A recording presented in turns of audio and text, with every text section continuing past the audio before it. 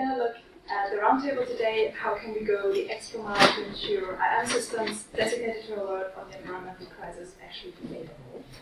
My name is Cornelia Scholz. I've been formerly with the Red Cross Climate Center, particularly working on conflict and climate, um, high-risk areas and overlays. And now here today to facilitate um, this roundtable, and we have three amazing speakers joining us remote from really exotic places. Hopefully having the background on.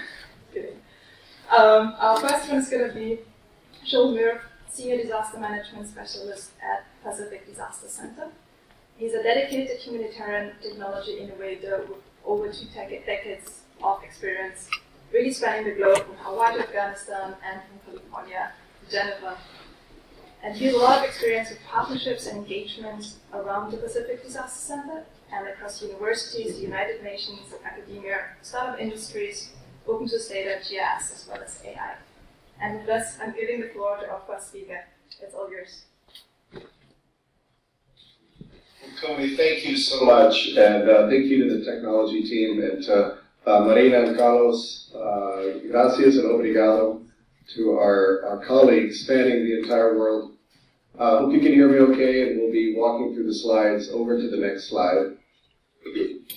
I do have to say a resounding aloha here from the islands. I'm back here in Hawaii. I was in Europe most of the last month. I'll tell you more about that over the next 15 minutes or so. You're going to see a nice blue slide. Next slide. That's perfect. We'll hold on that one. I like this one because it kind of shows what we do. I'm going to take about 12, 13 minutes. We can take a question or two. This is what we build. I love this because it also shows inclusivity. That's, of course, there in Indonesia world's largest Muslim nation, where I've spent quite a bit of time. We build applied information management systems. And Connie, thank you for and, and, thank you for your important work around the globe with REACH and of course Red Cross, Red Crescent, and, and climate and women, peace, and security are definitely at the core of what we do. Uh, over to the next slide.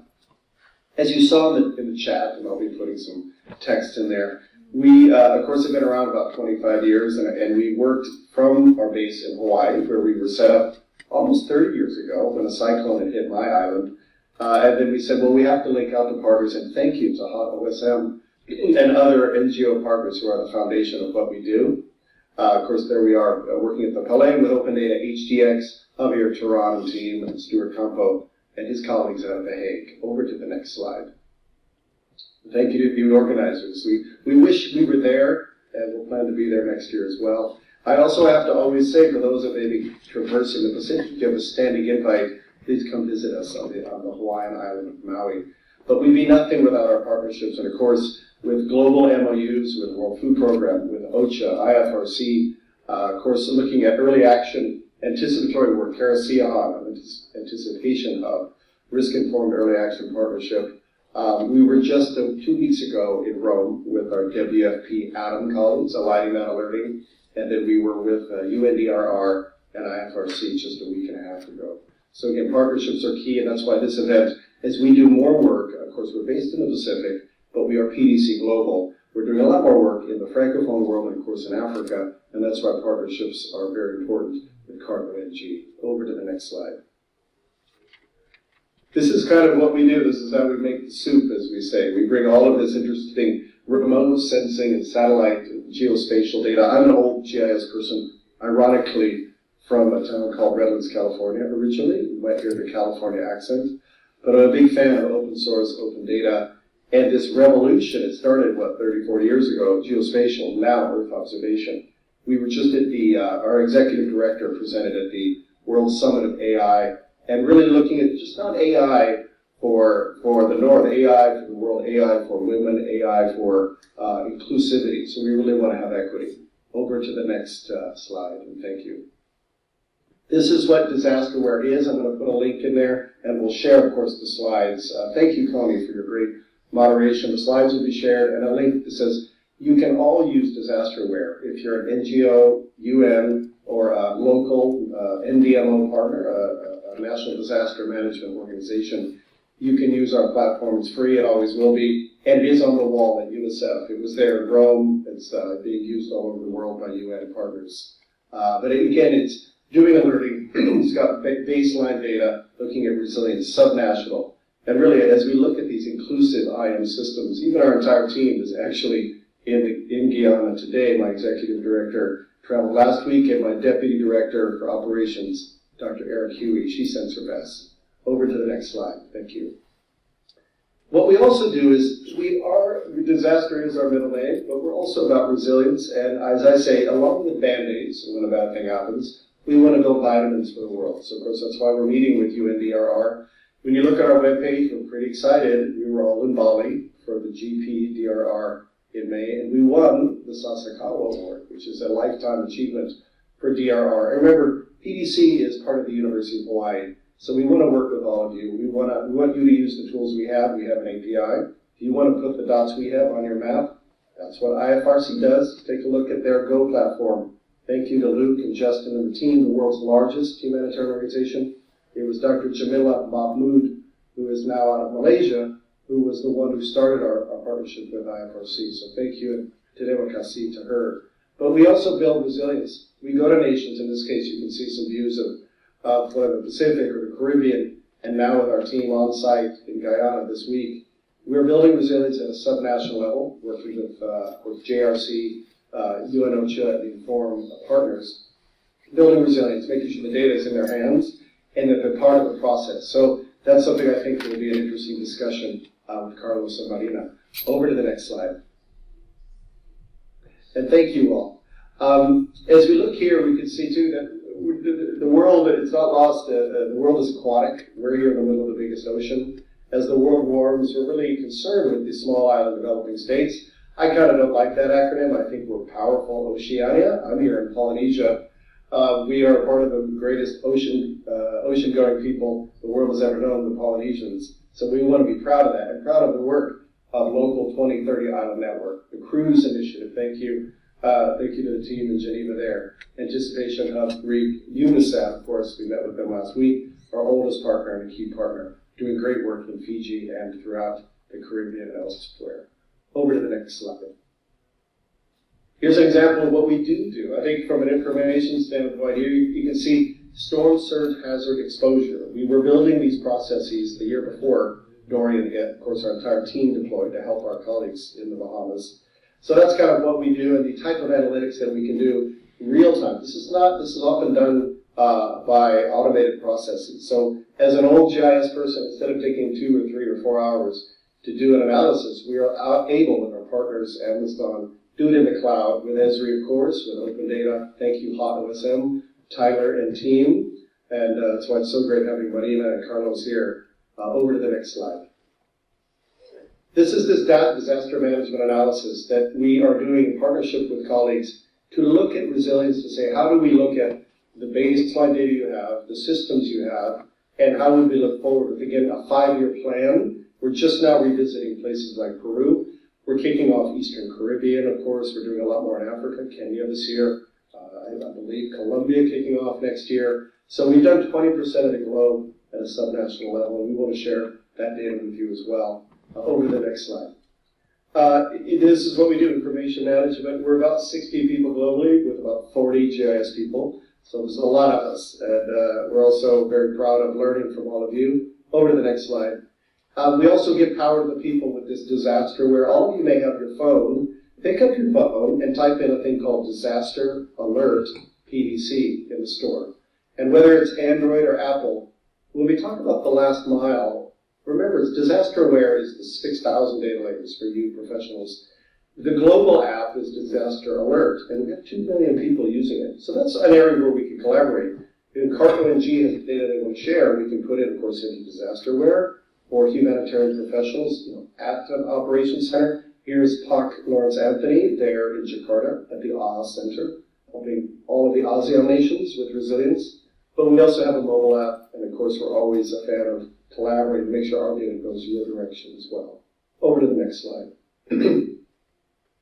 Imagine having a global all hazards model where you simply have an API call that we do when we're doing an alert and if there is an earthquake, we just signed an MOU globally with the USGS. We had Shane McLean from NASA visiting, and of course we're very excited. I really want you all to have a look, uh, and we'll do we can always do a more technical session with your organization, with CartONG, of course. To show off. We have the new NASA model of models for flooding. It isn't just alerting for flooding, it's actually a bit of foresight looking out. And I think as we look out, um, early alerting for flooding at the watershed level globally is really a coup. It's a really big, big, big jump in preparedness. And we want to make sure we show that off and get that to the best users, uh, whether it's the partners, you know, for, for CartONG, for Carlos's team, and of course, HotOSM is global, and we really appreciate their partnerships globally. Over to the next slide. This is what I talked about the app. You can see our little app there with 100 data layers, disaster alert. I always say beyond your day job, you may work for an NGO, you may work for uh, a nonprofit, UN. Feel free to get your parents using the app. We found out, we, we really appreciate Audrey and the team at MSF. We found out a few years ago, they said, oh, we use that app. If a really smart person, a doctor, is flying out from MSF, they're using all of their great uh, tools, that they have amazing GIS tools, but then they said, you know, for alerting on the things that we do, we do all hazards, meaning cyclones, earthquakes, floods, fires. The mobile app is pretty good, and I say get it to your grandparents, if you know, because I'm from California. Fires, floods, earthquakes, it's what I, I grew up with. There's always more every year. My exact island here was hit by a Category 4 cyclone. It took 10 years to recover. So this is very personal, really. Disaster alerting is not academic to us, and I think we're very good. And then, of course, you see a little picture of the JADE product on the right. We do it with partners, meaning OCHA, and WFP, working in Asia Pacific, Latin America, saying, imagine we could get the alert two days before the cyclone hits, and we could run our AIM model and say, well, we believe in two days, given the cone of uncertainty, we're going to have this level of impacts on exposure, vulnerability, the sphere guidelines, and that gives us, again, what I find exciting in this age of anticipatory science. It can help in these many of these JADE maps have been part of the flash appeals from OCHA. So data-driven decision making uh, so that we can get ahead of the curve with these growing disasters. Over to the next slide. And this is what you'll all get. Again, uh, you'll just simply use your .org or .int email, register for disaster aware. There's lots of great tutorials. And you can change the languages, of course, to Spanish. You can change it to, to, to Indonesian. You can change it to other languages. And you can get this alerting. So you could say, disaster alert, tell me when there's a cyclone coming my direction or to an area I work. Because a lot of you may be remote. I'm based in Hawaii, but I work around the world. Um, so that's just one idea of what disaster alert can do. Over to the next slide, and we'll wrap up here in the next minute so we can have questions. Um, event brief. We stood this up last August right before Haiti hit.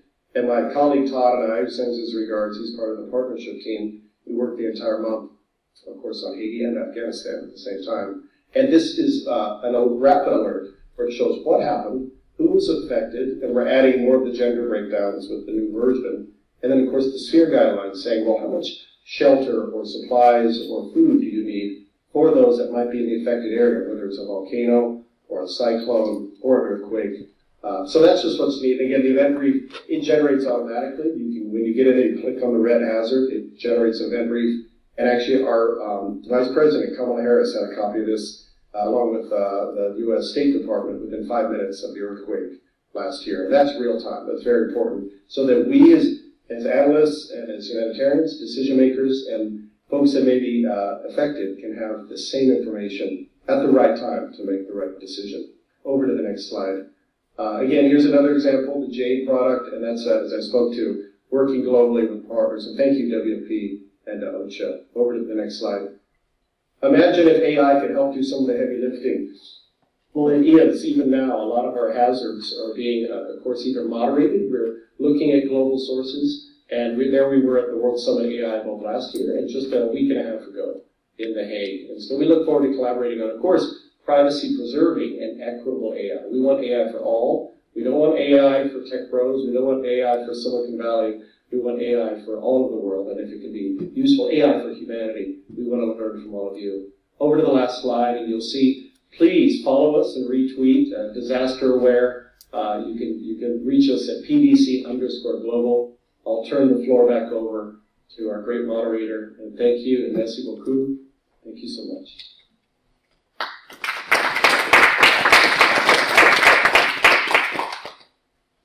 Thank you so much, Joe. This has been really fascinating, and we have about three or four minutes time to take a few quick questions if there's any pressing burning issues. If not, we have a longer discussion session at the end of all presentations.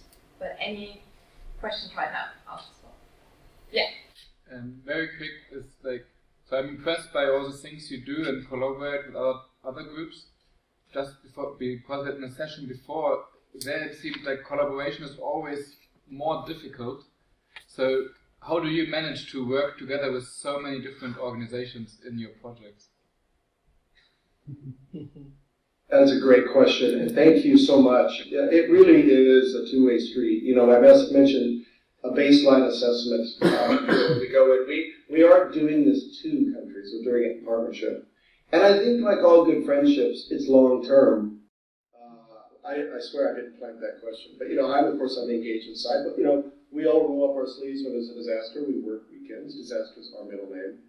But it, I think that also shows that much like the Red Cross, Red Crescent, or whether it's REACH or, or, or CART-ONG or HOT-OSM, you know, that idea of standing up tens of thousands of volunteers globally with HOT-OSM, I, I was the NetHope guy during Ebola 14-15, working closely, um, of course, even in H1N1. Um, really, we've all worked together during times of crisis so that we build those relationships. So I think the question, I think it is building relationships. I think it's long-term partnerships. You know, we've been in Indonesia for since the founding of the AHA Center. Uh, my direct executive director Ray was there when, of course, after the, the, the tragic giant tsunami, uh, again almost 20 years ago now, um, we knew we had to do stuff different. And so that's why this partnership with CART-ONG is so important, and all of its affiliates. Again, I really am such a fan of. We have a, a long-standing partnership, of course. ACAPS, thank you, Lars, Peter, and team. Uh, IDMC, we were just there. Sylvain and his fantastic team there using such innovative data. Um, thank, thank you to our partners uh, for, for also giving us the feedback. So thank you for that question. Over to any other questions.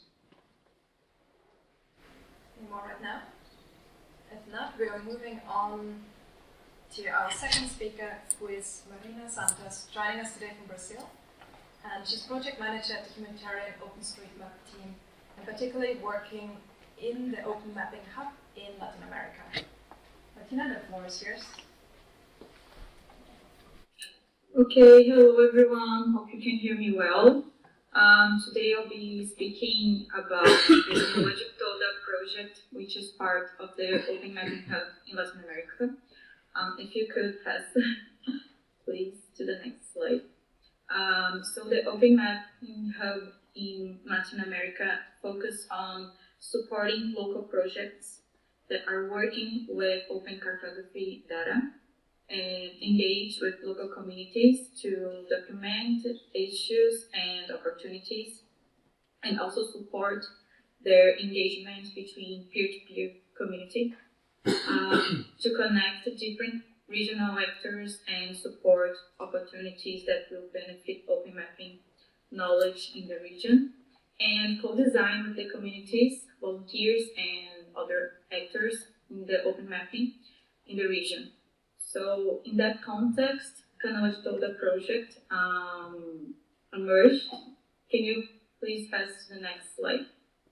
Um, the partnership with HOT uh, is started after a webinar watched by Canoa de Tolda representatives, including Carlos, who's also here, um, and in July 2021. And in the first contact, Carlos explained who Canoa de Tolda was, which is the leading organization in the San Francisco River Basin in the northeast of Brazil, between the states of Sergipe and Alagoas. Um, the San Francisco River is the biggest within the whole territory in Brazil, so it's uh, it represents a lot to the region and to the country. And Carlos first, uh, the first partnership with HOT started with the tasking manager friendship, so some lakes that disappeared from official maps um, could be again part of this this maps. And in December 2000, of last year is when the partnership for the project that took place in the community this year started to design with Carlos' approach to HOT. And so it was possible to coordinate together and co-design with Canoa de Tolda the project that aims to support collaborative mapping exercising using open tools, um, knowledge transferring um, to monitor hydrological and environmental conditions in the region. Um, can pass to the next. So the whole project started um, before the field activities themselves. So we counted on the support, a lot of support of Canalete in deciding with us and HOT experts about the areas of interest that we would be gathering the data and information. We decided on Ilha do Ferro, um, do its location, but also do its size. Um, the participants of such activities included Canoa de Tolda volunteers and representatives, a, one, a major partner, the Federal University of Alagoas, and also the local community of this island. Um, hot support counted on the equipment they need to gather the information and the data, training, remote training and local training, and monitoring and evaluation of the, the activities. You can press please. So before arriving with the experts and the equipment in the in the region, we had several remote trainings on the equipment that they would use. Um, also specific systems they would be um, deploying to gather the data. Um, it was done to have Canoa de Tolda representatives taking part in every step of the of this project, including in defining and helping um, to decide which equipment would work better in the region because Brazil has specific regulations for drone flying and other issues. Um, we can press, please. Um, another important activity that took place was regarding the training, the data collection using the, the drones and the GPS. So we spent two weeks with two hot experts, consultants, to train Canoa de Tolda to use such equipment and to install in the right places in the, in the island and everything related to that. You can please press. This is one of the images that I chose to show, one of the beautiful ones, lots of beautiful ones we, we could. Um, we are still, still in the in the phase of treating some some images, and also there's one uh, area left that we need to finish because unfortunately we lost one of the drones during the field activities, which is part, but it causes this delay. Um, so Canoa de Tolda is is still working and now working by themselves without hot support directly in the in the drone flying and other in other issues, which is important to us to be sure that we were able to transfer the knowledge they they required and they asked. Um, you can please pass the slide. Um, and an important activity was the river bathymetry. Uh, we counted on the expertise, especially from STEM, who worked in Africa with similar activities, but not in a river the size of Rio San Francisco. So it was also challenge a challenge for him to decide the right equipment to use uh, with low cost. And this is how we came up with the trimaran. If you can pass to the next, which was an amazing uh, equipment de- design by Canoa de Tolda in order, in order to overcome the challenges of not having the the right equipment, which is extremely expensive. So we used um, a fish finder and the trimaran made of foam in order to, to overcome the challenge, and it, it worked extremely well. And HOTS is also thinking about replicating such model in other regions where face the same problem, the same challenges and issues. As Canoas told you can please pass. We also train them in data treatment that we are still ongoing and need to finish the, le- the left area. Um, so we keep in touch and keep, keep keep orienting them on this on this matter. Um, another you pass please? Another important part of the of this project was engaging the local community. Um, unfortunately, the northeast region of Brazil, especially the one in the São Francisco River area, um, suffers from serious socioeconomic issues. So, engaging the local community on the serious reality of climate change and also the work of hydroelectric companies in, in that region is a hard work, that Canoas is also focusing on. So raising the awareness of the local population on their own situation and empowering them on how to use this knowledge. It was also part of our work and that we are still um, looking ways to improve. Um, if, if, if can press. Um, Oh, I'm so sorry. I don't I don't know why the color was like that here, but as key learning and outcomes from hot site, uh, we noticed that it's important to enhance the local community environment so they can have independent access to real and accurate information of their own situation and lives, and also strengthening peer-to-peer engagement.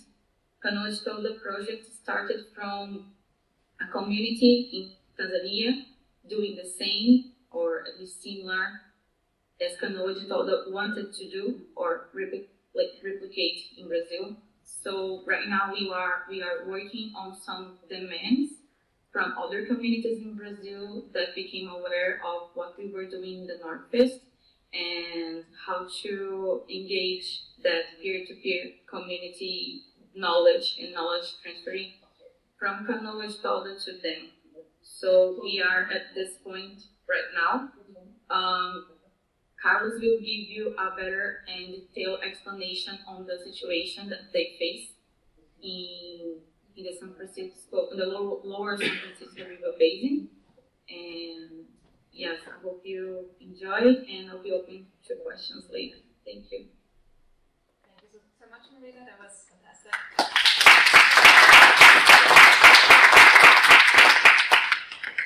We will have a combined question and answer at the end of the next uh, presentation because Carlos Ribeiro Jr. is going to tell us more about the community and really the experience of this incredible project.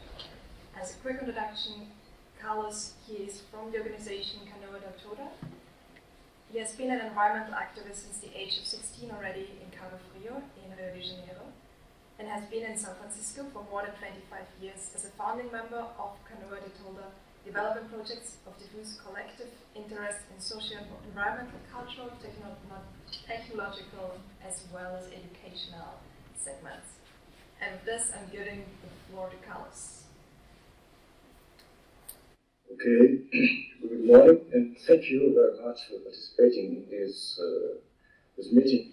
It's a very interesting opportunity to, to, to bring to a wide audience the case of the San Francisco, because uh, we're trying to improve the lives of the people in this region. Uh, as normally, the, the Amazonian is always in the front line of the, the newspaper, of the media, but it's not only River Basin in, the, in our country and it's not an isolated one. Okay, so the San Francisco next it. So our name Canoa de Tolda. The name Canoa de Tolda came from this magnificent vessel which fired 25 years ago. It was the last one Canoa de Tolda in our region. So we, buy, we bought this and made a, a restoration during almost 10 years. And all our projects they have this floating, this movable base as the center of our activities. And uh, the next, please. So the Lusitania is the last one. It's about 100 years old, okay? And it was the first national monument uh, status from the government, the federal government. So it's a, it's the, it's the symbol, it's the icon of the free San Francisco River. When you have about 200, 300 boats like these ones, they're transporting people, food, and a lot of enrichments, but now it's over. So we have the last one. Okay, the next please. So that's the San Francisco River Basin. It's the, it's the bigger, all Brazilians, 100% Brazilian river, okay? It crosses five states.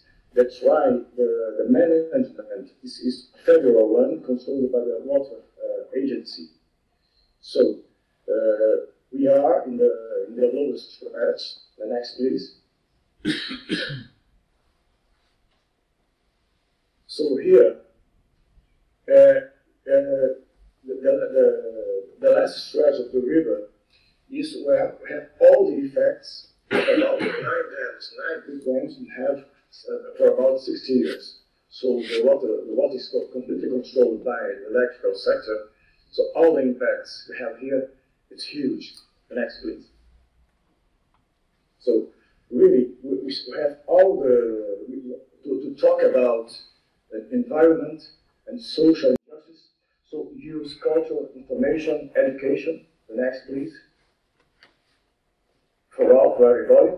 And we have only of the sixth uh, uh, reserve in, in, the in the in the San Francisco in the, the, the stretch where we have a lot of, of projects for uh, the production of native plants, biodiversity, and of course uh, looking for the climate changes because the climate changes are not in the in the agenda of the local agenda or the state agenda or the federal government as well.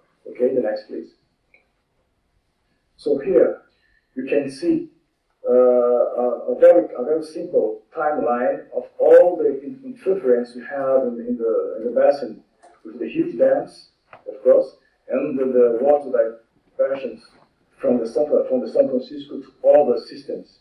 So the problem is, at the lowest stress, we don't have any water anymore. Okay, the next please. So this, slide shows very well how the river is seen by the by the system that controls the water. It's a pipeline system only, with no people inside, no no life, absolutely nothing. It's a pipeline where the water is completely controlled by the electrical system and the agribusiness too. So when you see that agribusiness takes about 70% of the water, and the electrical system makes the, the control each drop, have a, a serious crisis in the lower stretch where people don't have really access to drinking water. The next please. That's an example. This, this, uh, it's, it's, a couple of, of brother and sister in the mouth of the river. Now the San Francisco have, we have the, the sea entering into the, the estuary of the river, so people don't have, the water is salted, people don't have water to drink. So it's a humanitarian crisis, but it doesn't appear in the media, okay? Uh, and the, the question of human uses for water uh, is, is another kind of disaster, of course, but it's not in the, in the, in the model of operations of the dams. So we don't have water for people and water for biodiversity, for aquatic ecosystems. The next, please. So it's a very simple uh, design where we used to show to people in, our, in our meetings and how the, the floodplain of the San Francisco works. Now, so here we have uh, uh, the, natural natural floodplain before the dams. Okay, so we have a deep uh, riverbed. Okay, so we have the in the dotted lines we have the, the original uh, floodplain. Next, please. And during the, the by October November we have the natural cycle of floods. So always part of the river, the riverbed, uh, the water occupies the, the free place, okay? But with the dams, next please, we have the selling of the riverbed. So we don't have any more volume to receive even uh, flows like the older ones. So the next please. So in this case, of course, we'll have uh, a, faster occupation of water in the case of disaster. Okay, so the next please. And without no volume to receive so much water, we'll have a different one floodplain which is not considered in the water management.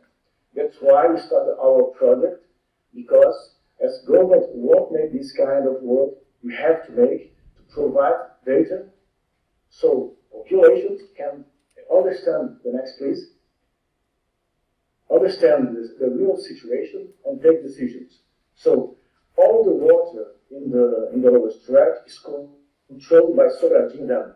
Is the is the, the, the main dam at the, the top of the of the left corner of the image. So if each drop of the of the of this dam means that how the, the river will uh, arrive to the ocean, to Atlantic Ocean. Next, please. So here we have to uh, how the flows uh, they start in the, in the, in the basin, but we have the natural flows which start in the upper stretch of the river, but we can have two uh, uh, incremental floods with water in the lower stretch. So what we're talking about is the case of extreme floods, bigger floods we can have in any moment, because uh, the next please. As you can have this graphic, we have at, at present, at this, at this time now, our flow is about 1,500 uh, cubic meters per second. It's not enough water. So we had in 1989 uh, flows of 16,000 cubic meters, but we can have again. So the, the red line of 8,000 cubic meters is the restriction of the water flow. The, the dams can, uh, the maximum they can, they can, they can uh, discharge. But in the case of an extreme event, they can open completely the dams, so we, can, we have, with no preparations, a huge disaster here the next day.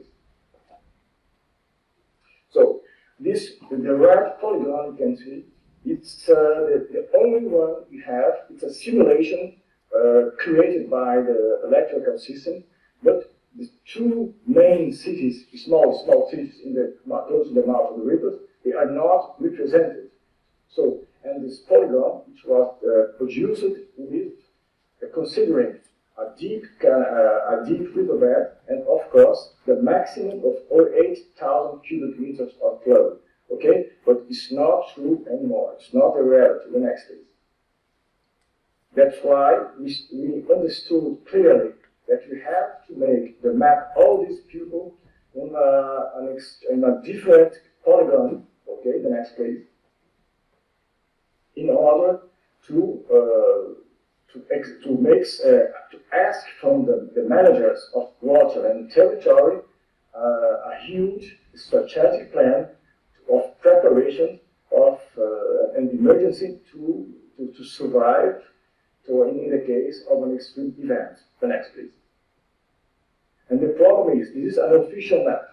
This map, they, uh, in this map, we don't have, of course, cities, small towns, and the, the, the intermittent marginal lakes and floodplains. That's a question.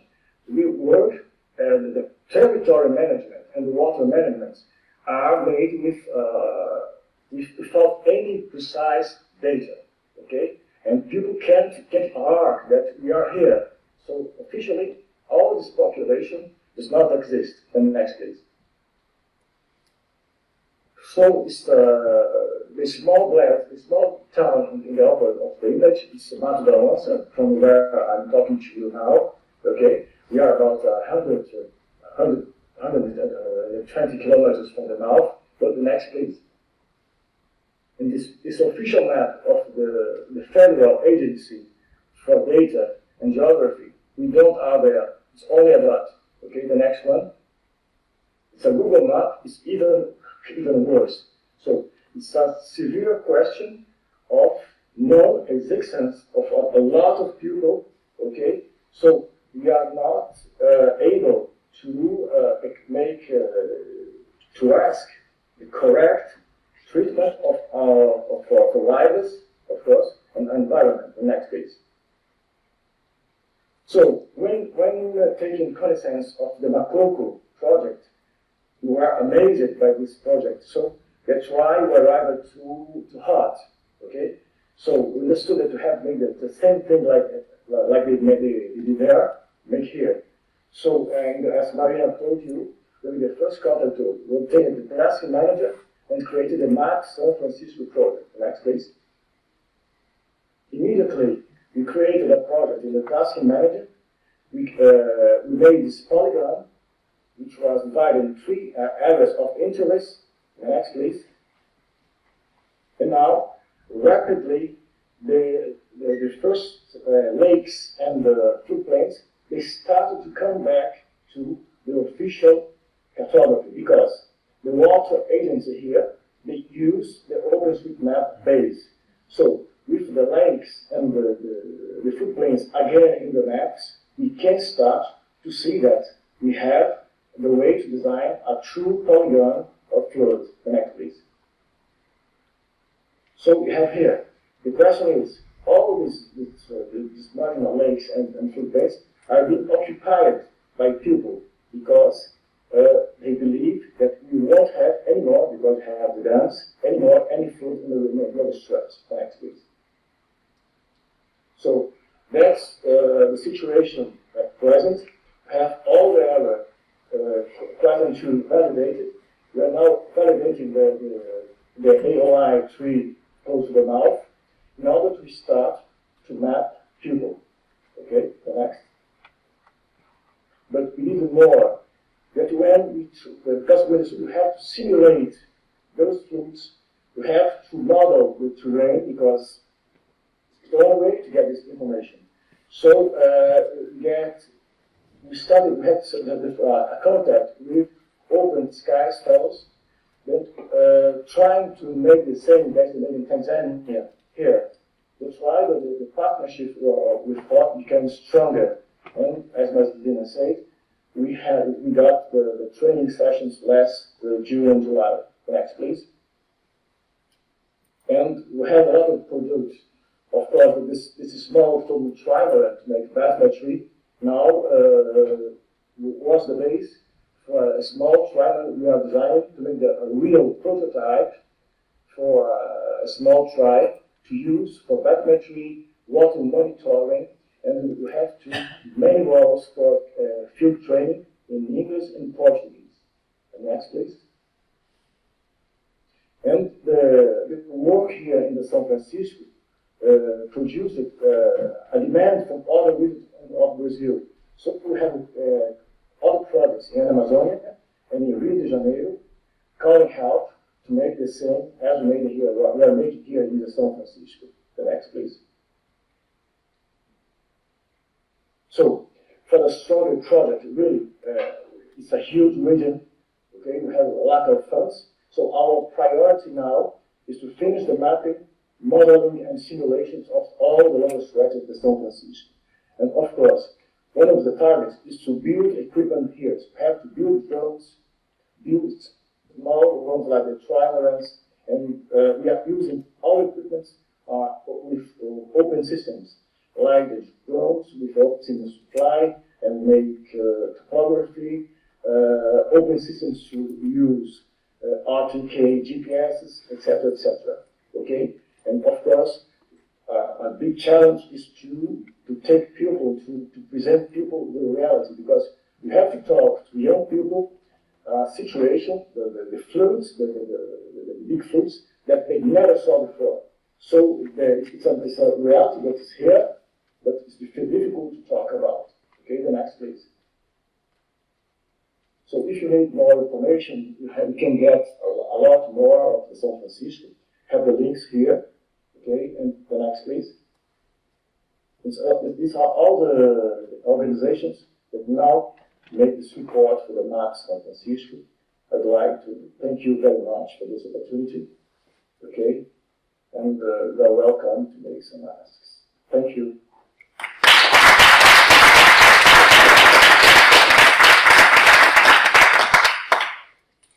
Carlos, thank you so much for sharing this really inspirational uh, project with us today. Um, to the audience, are there any uh, pressing questions for Carlos or Marina's uh, presentation right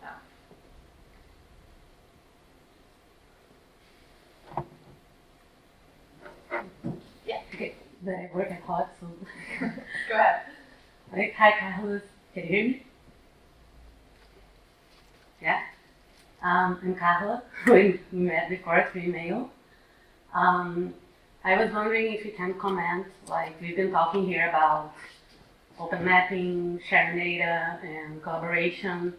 And one of the things we talk a lot about in our Latin American hub at HOT is how important it is to understand the political situation in every country.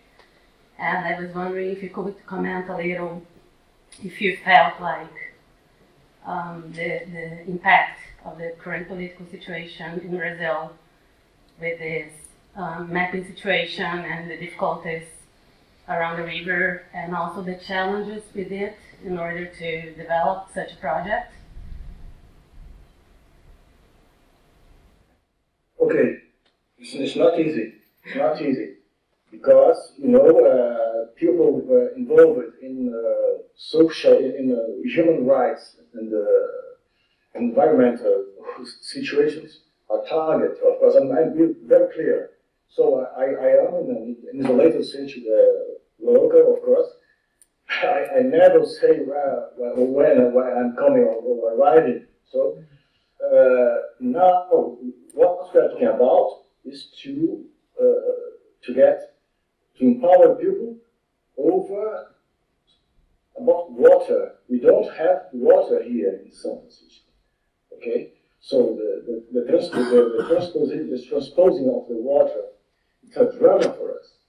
Okay, we don't have water. So uh, what we see, uh, we don't. Uh, the, the only national organization uh, which supports us at present is the, the University, the Federal University of Alagoas. We have good guys there uh, in, uh, in Penedo, the uh, Alagoas, state of Alagoas. So we're running slowly, slowly. It's not easy because we have huge distance to cover.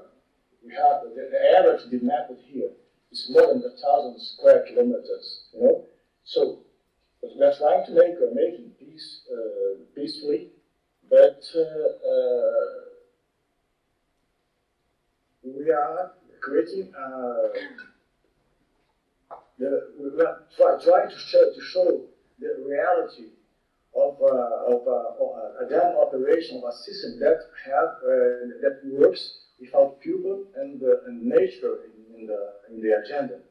Okay, so yeah, we have to wait for the for the next uh, next few few weeks to see uh, how uh, really we, we, can go ahead. Of course, we won't give it up. We won't stop. We won't stop. We have to move. We are here for 25 years in the in the lower stretch of the San Francisco. We started 25 years ago, so we, we won't stop now, of course. But uh, I think that what we're making now it's a, it's a completely different way to to expose the problem.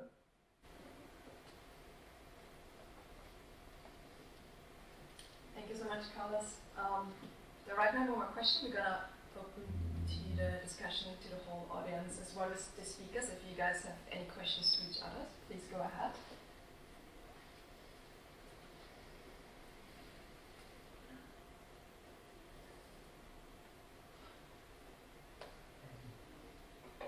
Any questions in the room? Yes. No, no, no, go for it. So yeah, thanks for the talk. I think I didn't listen to a talk which was like grabbing my attention so much um, in the past years, I would say. So that was really, really great. You mentioned that you were kind of inspired by other projects of HOT, which I think happened in a completely different place, right? So how easy was it then actually for you to transfer what has been done with the local mapping community somewhere else to to your region? Or what would be your advice? Because I think many people can learn from you. And what would be your advice to how to transfer what you did to yet another region where it's again a different situation?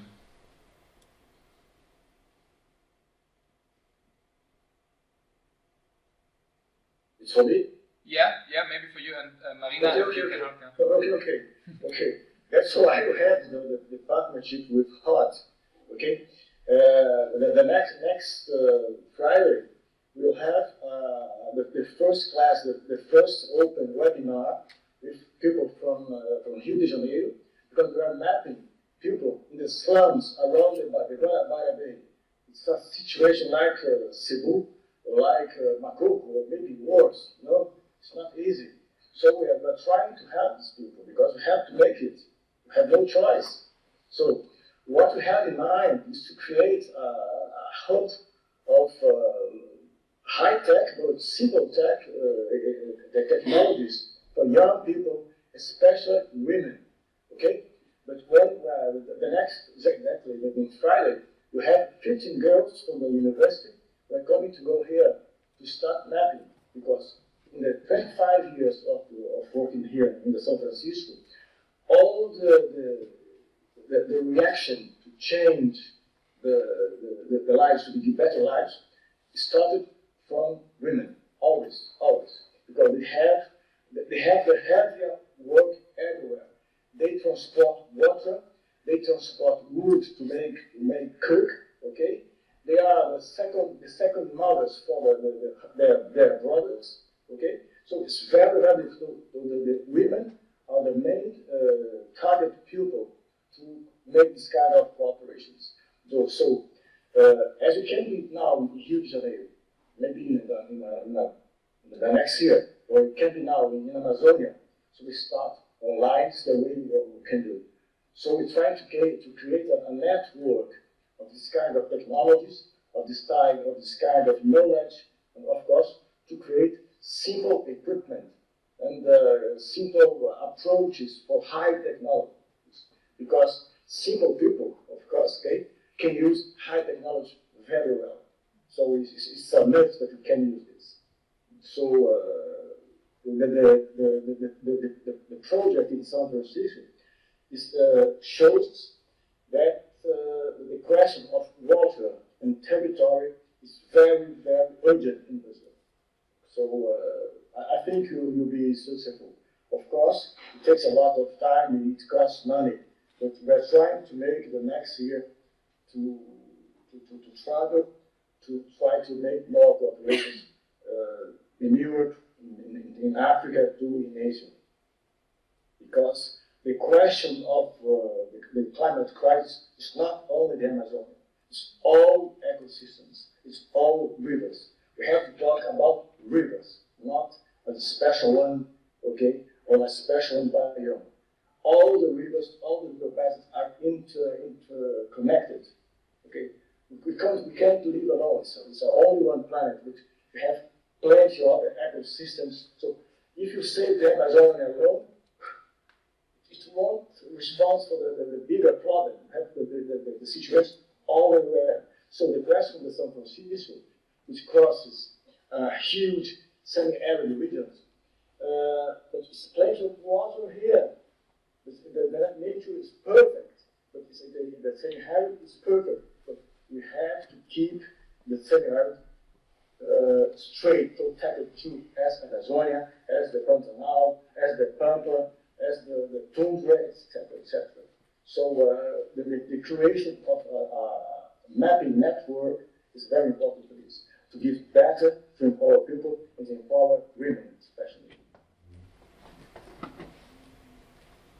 Thank you so much, Carlos. Um, we had a second question right in the same corner. Yeah, uh, thanks uh, all of you for your presentation. I got actually a question from Marina and Carlos.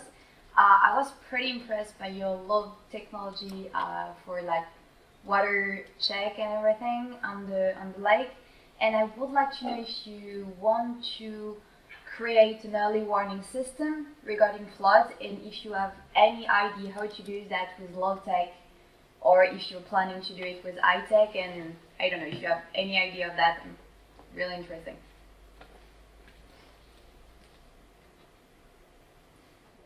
I don't know if I heard well, but you you talk about the trimaran.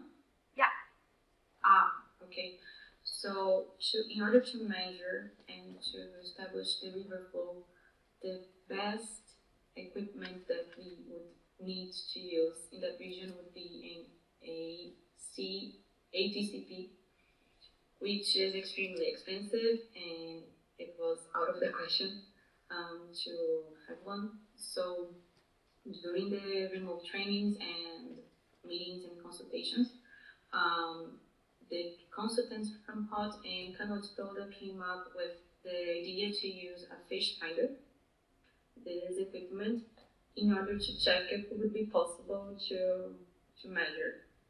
And when we arrived, we bought it and took there. When we arrived, we noticed that we wouldn't be able to use just the fish finder as we before.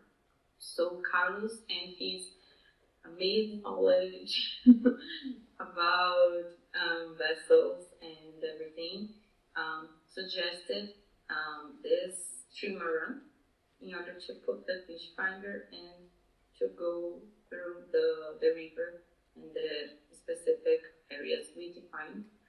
And it worked pretty well. Uh, we could gather the, the data and all the information we needed, but we need to improve this equipment.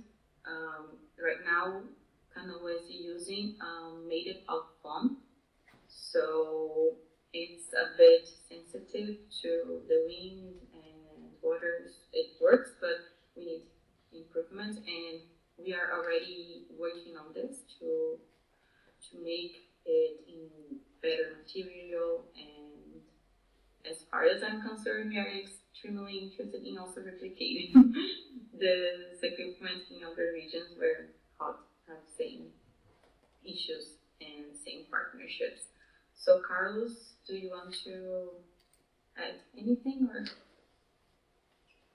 Yeah, just a, just a small, a small one. Sure.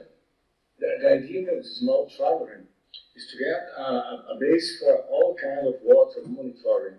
Okay, water quality. Uh, if you can, uh, the, the, the, next prototype will made in internet epoxy.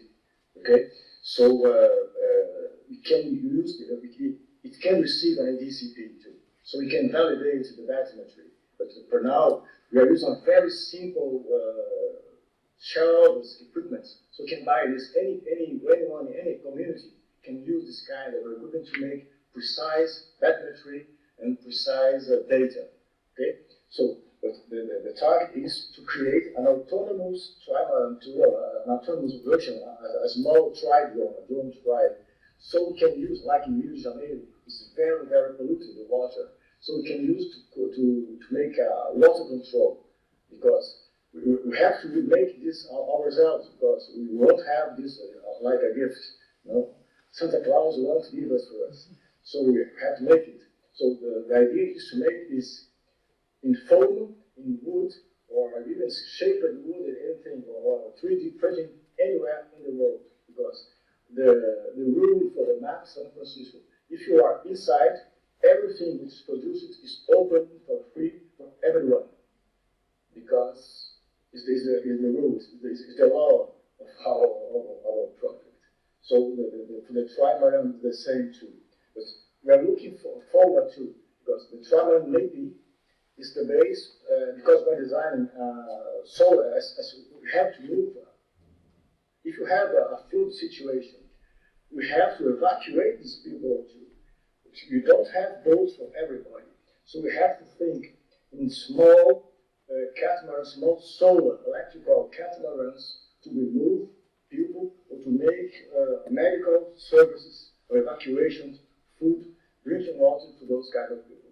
So uh, I, I was, I, I am a boat designer, builder, a sailor. I design multi-hulls.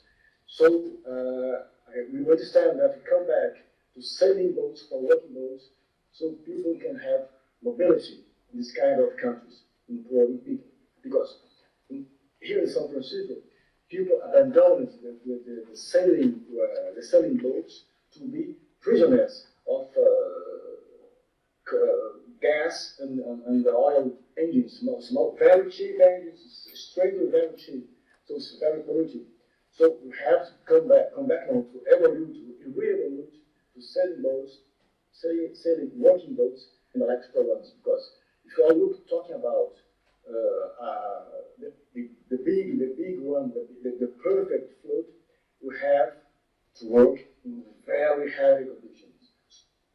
So the small tribe will work as monitoring, but we have to have, we must have boats to evacuate these people, to get service, to get people to the school, etc., etc. It's only a start.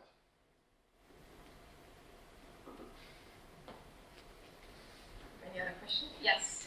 Maybe I missed it. A small question on the early warning. So, if they're in case flooding, is there a system to contact them people through mobile or through, like, I understand you, you, you measure, you, you criticize, you lobby, but from a, from in case of an alert, like I'm thinking about PDC, which is then providing alert systems more for the UN. Is there like something that you do? Were you guys able to hear the question, or shall we go closer? If you could rephrase, we couldn't quite hear it. Thanks for rephrasing. Sorry, so my question was, uh, in the case of an alert, right, do you have a system in place to actually connect to the community members? That's like via mobile or via, I understand from PDC that you have disaster alerts, but that's more for the UN type of agencies. I'm thinking from a community perspective. In the case of an emergency, is this part of the project where you actually then directly can contact community members to say, look, watch out, you know, prepare for an evacuation, or is this not part of neither PDC's work nor uh, work? I'll turn it over to their team, but you know, thank you for the question. But we at PDC, you know, with the new NASA, uh, it is an early warning after the sense of flooding that can be seen on the app and that can be downloaded by any phone. so I think that's one area. We of course would work closely with WMO. Uh, we met with them a week and a half ago. What is this is all set in the context. Uh, I was on a meeting, which was unfortunately Friday night my time, Saturday. It was, you know, uh, the Secretary General's hoping to cover billions more people with multi-hazard early warning systems. So that is a big push that is happening, and, and, and the work uh, again of Carlos Marino would be fantastic because I absolutely agree that you know synchronizing we sort of as an academic, you on the ground there, you know the area the best, and again absolutely concur putting putting people you know people before data, as Dr. Jennifer Chan would say, my former boss at NetHope, but putting people on the map, having that advocacy and then enabling them, enabling them with open source tools fantastic. but again, over to Marina and Carlos. Great question.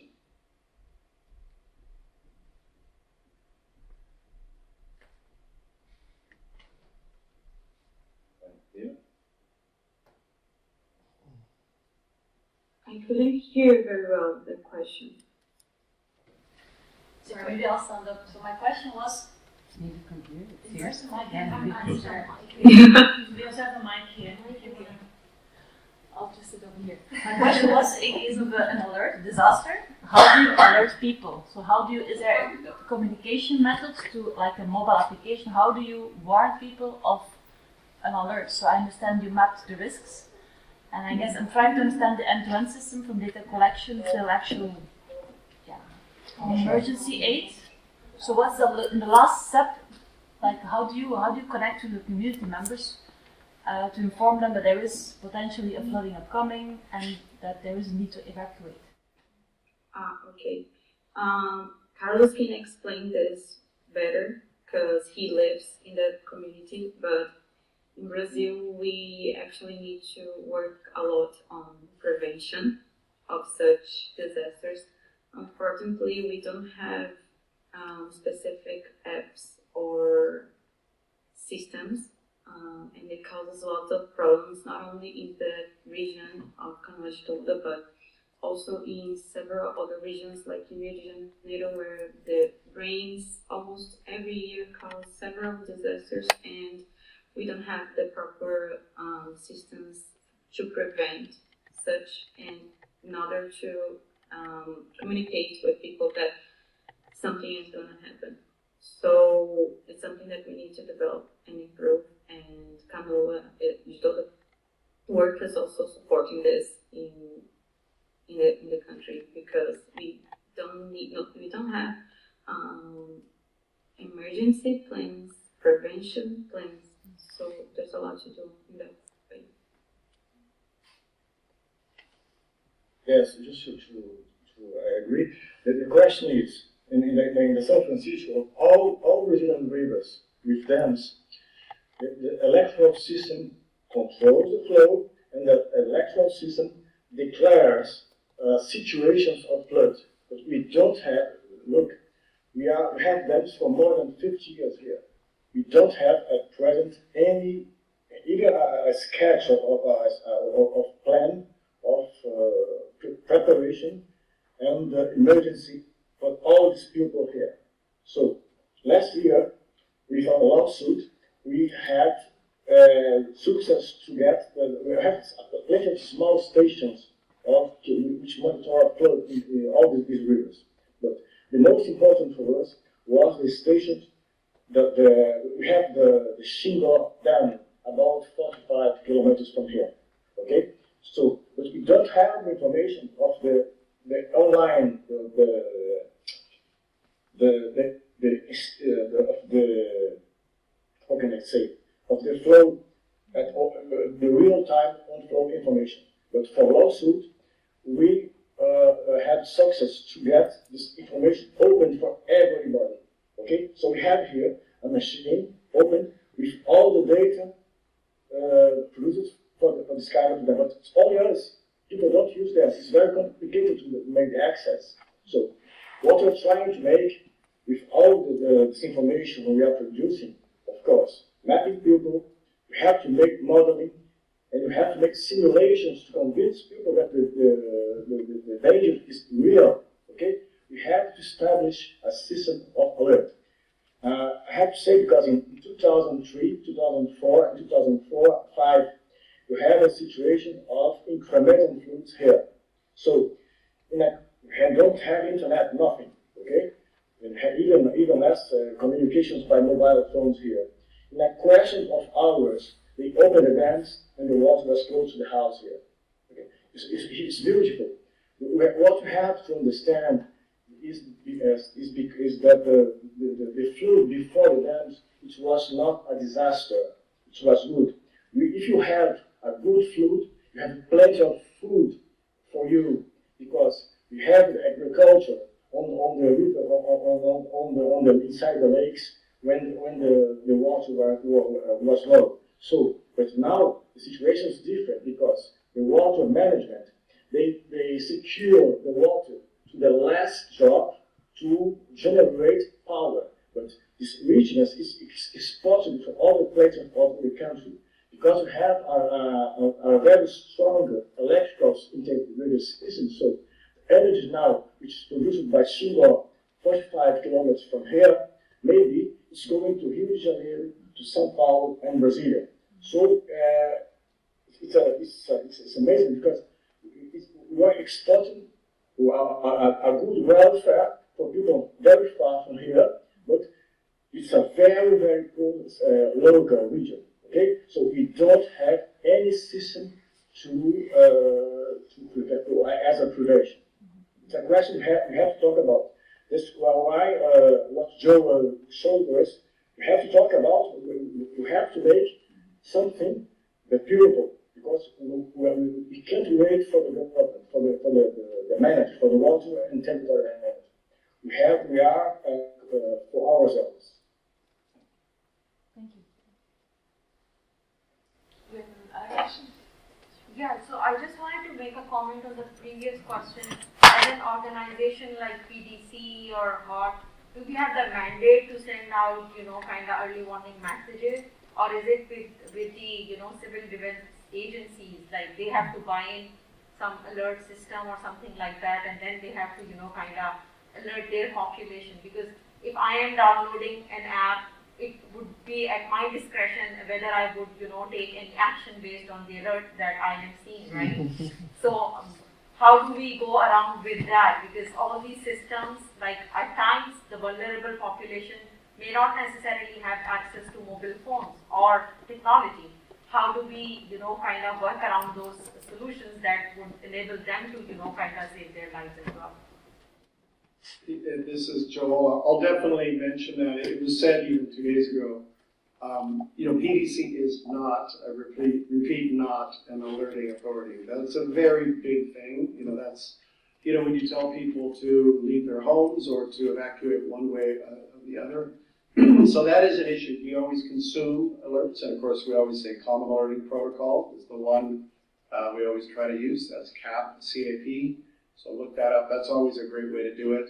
Uh, that's a bigger discussion, you know, on, and especially if there's really the thought, and this is not unheard of, of not having timely alerts from your local government, especially with, you know, data is power, mapping is power. Um, literally, the nature of water there is power, no pun intended, of water power. So, Carlos, thank you for this tour de force of Marina. Uh, even I'm from California, the move now has been to get rid of the dams but my entire family was actually flooded in the mid 60s in Oregon, in the northwest of the United States, where again the, the power company did not plan ahead for a big storm, a spring storm, where it rained all the snow and flooded their entire town, of course. And of course, they were working class, poor people with no alerts. So I absolutely concur those are issues on you know who can do the alerting, who should do the alerting, um, how to get those alerts out. There's a big body of work I was, uh, say, the big body of work on that and how to get those alerts out. I absolutely concur that cell phones are one way, but there's other ways.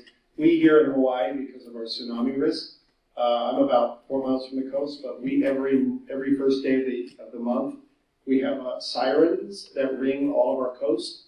So that's another good way to do it. Whether it was riverine or coastal acoustic sirens are another way to do that. But I do think we need to free the data. What Carlos has done by making sure that the power companies share that. Uh, what is the river level? You know, the, the, you've got a, a, sensor on the river. That's one thing. The satellites say another thing. And then the last piece I'll mention, we work with a group in Indonesia, kind of part of the citizen science, crowd mapping. Um, I was part of this crisis mapping revolution, you know, of course, with Patrick Meier and other colleagues in, in Haiti 2010 onwards. But this idea that you can have citizens supporting with those that do have phones, sending photos of, well, the flooding is here. Um, in Indonesia, there's a group called Peta Bencana. We work with them, USAID, HOT-OSM, Peta Bencana. Literally, they go and take a photo of the map uh, or of the flooding, and that's on the map, and that map is used right at BNPB, which is the FEMA, the civil defense of Indonesia. So it can work. I think Indonesia would be a great way to look at that. But those are just some comments and really, I've learned a lot. Over to Marina and Carlos. Great work. Um, I just would like to, to add and to mention that um, it should definitely be uh, collaborative work. Um, some regions in Brazil, just like in the lower San Francisco River Basin, the communities sometimes have more understanding about the dynamics that taking place take place there. So they need to, have access to such information in order to advocate in order to, to ask and request the attention they need. So another similar situation is occurring in the Amazonian region. One of the communities who reached, Carlos um, explained the circumstances and how the, the community actually have more understanding about how the level of the, the water work there better than um, the institutions that should be taking care of it.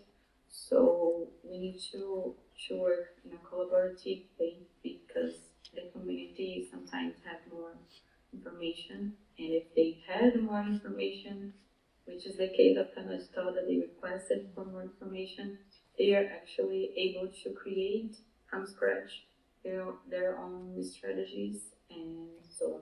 So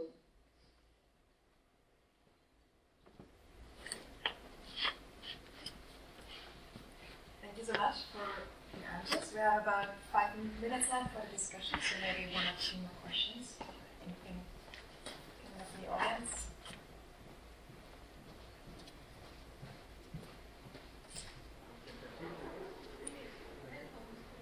Then on right now, I actually have a question. So right now with the project we're seeing, um, Carlos, I know you mentioned there is support that you need in moving it forward and also reaching your objectives. Do you have any very specific needs you'd like to share with the audience? Also thinking of who's in the room today, um, seeing if there's maybe some ideas, innovation.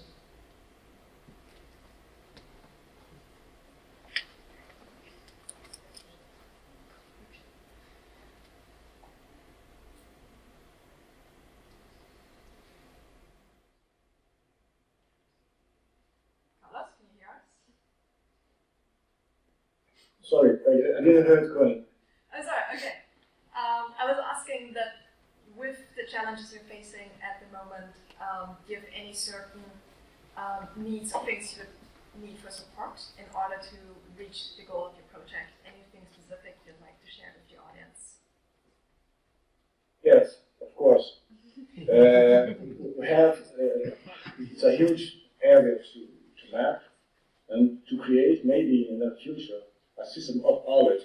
You, you see, you even talk about making a small network of zones, like having some countries of, uh, of Central Africa, where each transport magic medicines from village to village. So we, we talk, we think about it, because maybe, why not?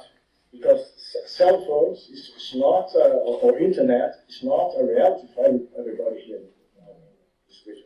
Okay? We don't have network of uh, a good system of, uh, of, uh, of, stations for, mobile phones. So, and, and, the internet is not really public and uh, free access for everybody. It's very expensive. Okay? So, we have to provide a parallel system of, of, of information and alert. So, for the next, uh, we think that uh, if you have funds, you can create more more teams to, to map because it's urgent for us. It's a, a total priority to, to map all the, the area of the road stretch in San Francisco. So uh, in, the, in the next few weeks, we will have in the, the tasking manager for HOT, we'll have the, the, the, the, the, the first AOI, the area of interest number one, ready to people uh, map people first. Now we have the lakes and the, the plains. So now we'll be able, with this, this in the same area of interest, to map people, and uh, in a second layer, uh, roads and uh, all the systems. So we can uh, organize more easily the information, the data, so to, to, to in order to get, have a, a precise map of the situation. But what you have to have is to uh, a way, an easy way to, uh, to spread the information for these people in case of uh, an extreme event. Because we are very, we can say calmly that the, the, the electoral system, they, in, in the, the, the, the, pattern is to retain the water as much they can. Okay, so they will declare a situation of flood at the last moment, at the very last moment, because for them, this kind of system, water is they they when you talk about water, they don't uh, they don't never use the word water. They use uh, hydro hydraulic resources or energy or power. It's not water. Water is water. We, we don't know water we drink water, we will wash off with water, etc., etc. And life comes from water. But for these people, for this kind of structure, water is not a thing. So, in the case of an, an, an extreme event, maybe we'll have a problem of communication and we don't have the preparation because the, the civil defense from the counties, from the states, and even for the federal government are not prepared for this kind of, of, of event. Why? First, they don't have information. They don't know people are here. They don't have uh, the information of how the, the, the, polygon of the full area will be. They have nothing. So we can, we, we, they can't be prepared because they have zero information. So the situation here is really very becomes strange, but in the mouth of the river, you have to, the case as the river is very weak, the sea is entering inside the river. So, these two small towns, Piaçabuçu, in Alagoas, and Brejo Grande, in Sergipe, they are, despite the risk of floods, they have the situation of the sea entering and the sea, the water sea level rising and rising. So it's uh, uh, uh, another layer of problems. But we have we have to create ourselves a system of uh, alerts. So for the next uh, maybe two three years, but if you have funds, you can make this in, one year of work. Thank you so much, Carlos. With this, we have reached the end of our time for this roundtable today. A big thank you to all our three amazing speakers coming in from these exotic places and sharing all this inspirational work. Um, yeah, let's give them an applause.